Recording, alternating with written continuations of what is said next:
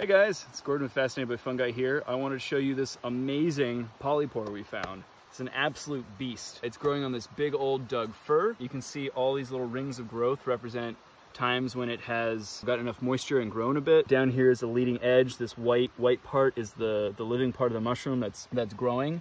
And this is all mycelium that's in the wood that is creating this fruiting body to disperse its spores. Mushrooms like this can last for years. This has probably been around four, five, six, seven years, who knows. All these little rings represent opportunities for growth, but it's full, packed full of, of polysaccharides and antifungals and antibacterials, all sorts of bioactive compounds that prevent it from getting molded over in the woods. And you can see a little bit of algae grows on it. These are incredible mushrooms. If you find them in the forest, leave them be. Don't mess with them.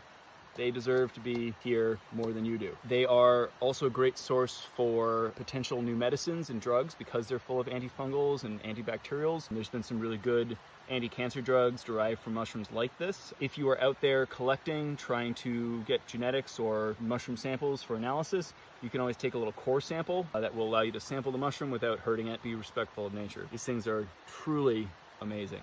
Pretty cool, right?